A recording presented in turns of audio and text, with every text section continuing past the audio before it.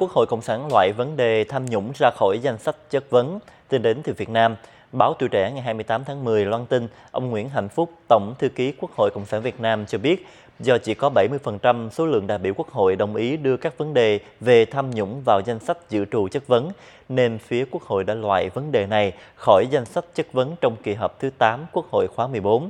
Theo, theo ông Phúc thì dự trù thì ông Lê Minh Khái, Tổng Thanh tra Chính phủ là người sẽ trả lời chất vấn các vấn đề liên quan đến tham nhũng như kết quả thanh tra, phát hiện và giải quyết tham nhũng, thực hiện sau kết luận thanh tra, tài sản thu hồi được, việc tiếp công dân, giải quyết các khiếu nại tố cáo. Tuy nhiên, do có ít đại biểu lựa chọn vấn đề này nên nó đã bị loại khỏi danh sách chất vấn.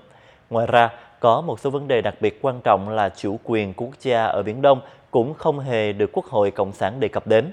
Ông Phúc cho biết có 4 vấn đề được Quốc hội chất vấn ở kỳ này là lĩnh vực nội vụ như sắp xếp, tổ chức lại bộ máy nhân sự. Thứ hai là lĩnh vực nông nghiệp và phát triển nông thôn như hiệu quả về chương trình xây dựng nông thôn mới, công tác quy hoạch trồng trọt chăn nuôi. Thứ ba là lĩnh vực công thương như cây quản điều tiết điện lực, quy hoạch năng lượng mới, và cuối cùng là lĩnh vực thông tin truyền thông như cai quản báo chí, giấy phép trong lĩnh vực báo chí.